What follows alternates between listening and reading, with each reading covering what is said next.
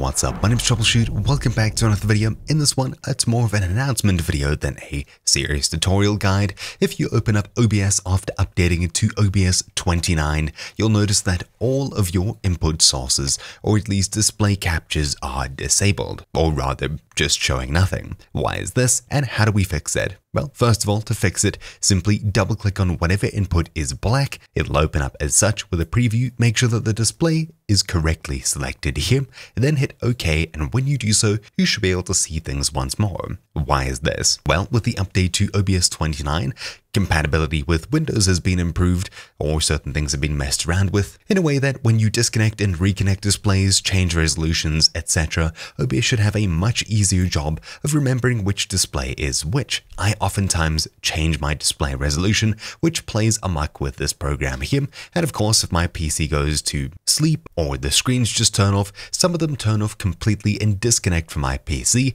until I turn them on, at which time they're reconnected. It should now be at a stage that you unplug it and plug your monitor in again, or it goes into sleep and you wake it up, it should automatically select the correct monitor. Here, whereas before you'd have to open it up, select the correct monitor, OK, and continue with your life. It's improved, but of course, if you start it up expecting things to work and suddenly everything's black or blank, not working, that's how you fix it. Super simple. If, however, this isn't the solution and instead you've installed OBS 29 instead of updating to it and all of your inputs are black, opening it up and messing around with them does nothing, in the description down below you'll find a guide for that specific issue.